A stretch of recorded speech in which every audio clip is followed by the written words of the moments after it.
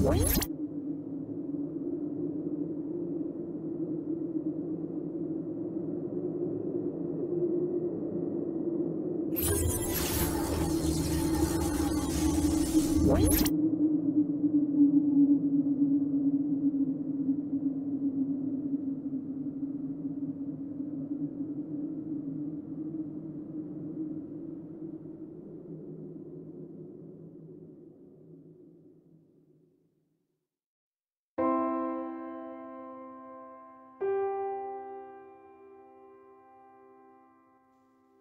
Ano ang kahulugan ng panaginip ng bulaklak? Ito ba ang nilalaman ng panaginip mo kagabi? Ang bulaklak sa panaginip ay maraming kahulugan o ibig sabihin. Ang ilan sa mga sinisimbolo nito ay kagandahan at kasaganahan. Ang pagkuha ng magaganda at mababangong bulaklak ay nagpapahayag ng tagumpay sa buhay. Samantala, ang pagsasama-sama ng magagandang bulaklak upang makabuo ng isang palumpon o bouquet ay nagpapahiwatig ng isang magandang kasal.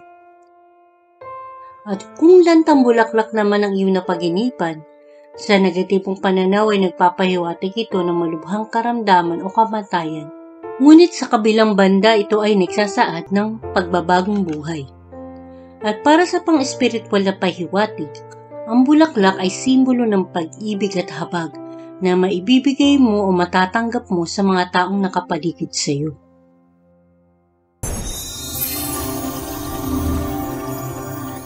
Ano pong kahulugan ng panaginip ko, maraming numero at mga bulaklak?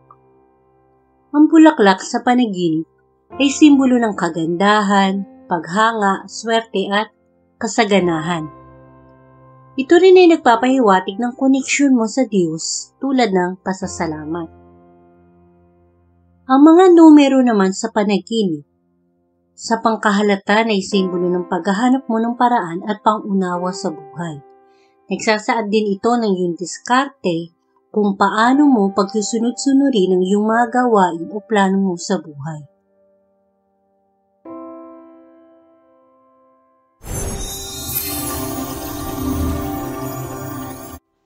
Nanaginip po ako na nakakita ko ng magandang bulaklak na sunflower.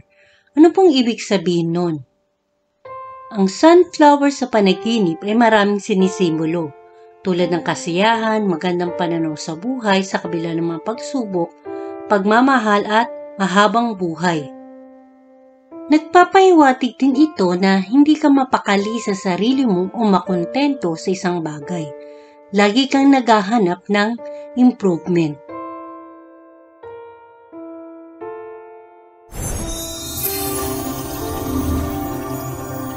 Nanaginip ako ng bulaklak na inaayos ko paglagay. Parang inutusan akong ipabuo paglagay ng bulaklak na buo naman. Ang pag-aayos at pagpulunpon ng mga bulaklak sa panaginip ay nagsasaad na parating na magandang balita na tiyak na magbibigay sa iyo ng kagalakan.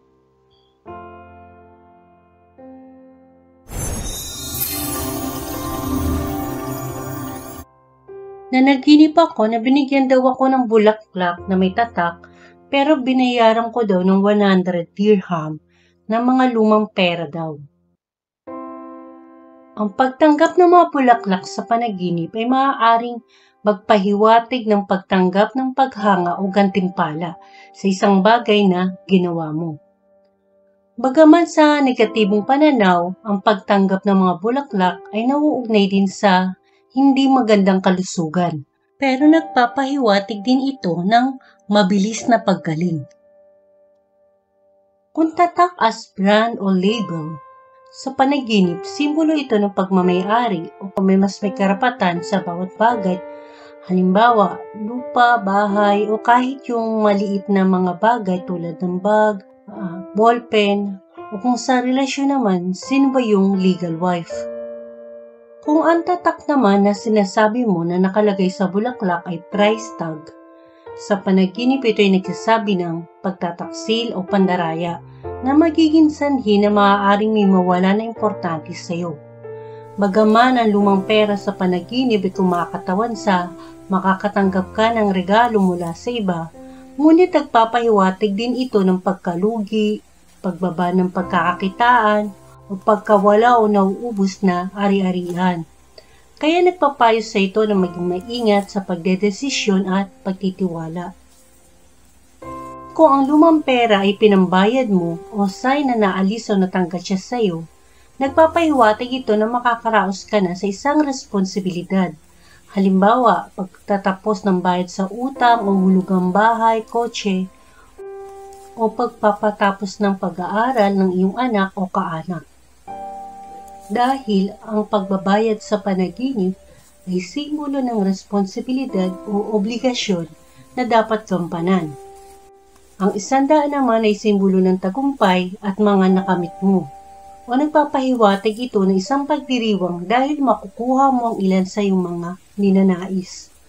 Ang foreign currency naman tulad ng dirham ay nagsasaad ng kakayahan mong makapagpatayo ng negosyo.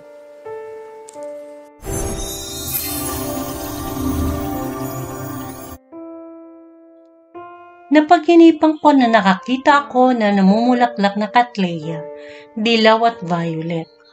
Tapos nagsuot ako ng magandang tsinelas kulay gold. Ang violet na orchid, bagaman sumasagisag sa pagiging dominante, ito rin ay kumakatawan sa pagnanais ng tao na siya'y galangin, hangaan, at maging mamuno o leader. Samantala, ang panaginip na yellow orchid ay simbolo ng kasiyahan at mga taong pinapahalagahan ka. Ang panaginip na tsiyelas na nakasuot sa iyo sa negatibong pananaw ay kumakatawan sa mga gawain mo na nagbibigay sa iyo ng stress o mga gawain na kinakatamaran mo dahil paulit-ulit na lang. Ngunit sa positibong banda, ito ay nagsasaad ng paglalakbay na magbibigay sa iyo ng kasiyahan at kaginhawaan. Ang kulay ginto sa panaginip ay isang magandang simbolo ng kayamanan at pagunlad. Ngunit, simbolo rin ito ng kasakiman at tukso. Kapag sa panaginip ay nagsuot o nakasuot ka ng tsinelas na kulay gold, karaniwan nagpapahiwatig ito ng hindi magandang kalusugan o pagsubok na kapag nalampasan mo ay tiyak na kaginhawaan ang makakamtan.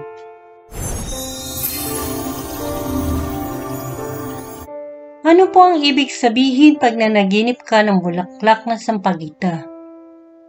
Ang panaginip na sampagita ay karaniwang pumakatawan sa kasiyahan, paghanga, inosente, dedikasyon, kababaang loob, malasakit, pagpapala at pagmamahal.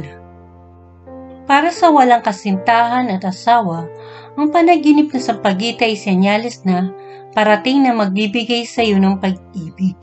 Nagpapahiwatig din ito ng parating na swerte at pagpapala.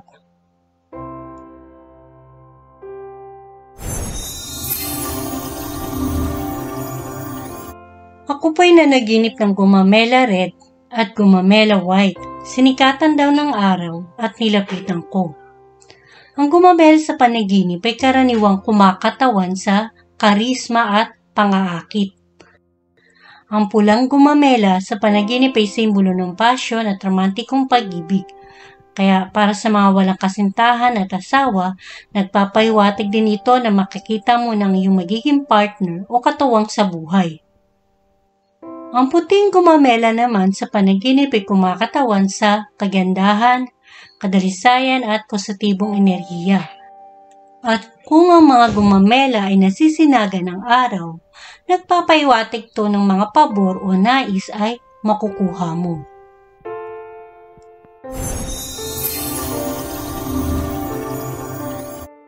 Nanaginip ako ng mga bulaklak pati damit ko bulaklak.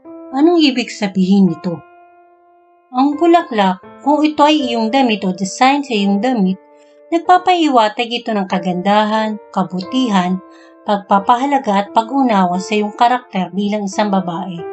Karaniwang nagpapayo ito na magkaroon ng malambot na puso, ngunit dapat ay may malakas na kaisipan. Ang pagkakaroon ng malambot na puso ay hindi dapat bukas sa lahat, lalo na sa maling gawain matutong kontrolin ang iyong nararamdamang awa o pagmamahal kung mali na ang iyong sinusuportahan. dahil pwede itong magdulot ng kapamakan sa iyo o sa taong pinaglalaanan mo ng iyong awa o pag-ibig. Samantala, ang pagkilos o pagdesisyon naman na walang puso ay maaari ding mauwi sa kapamakan o kawalang saysay. Maihahalin tulad ito sa mga taong tumutulong para sa atensyon, hindi dahil sa intensyon.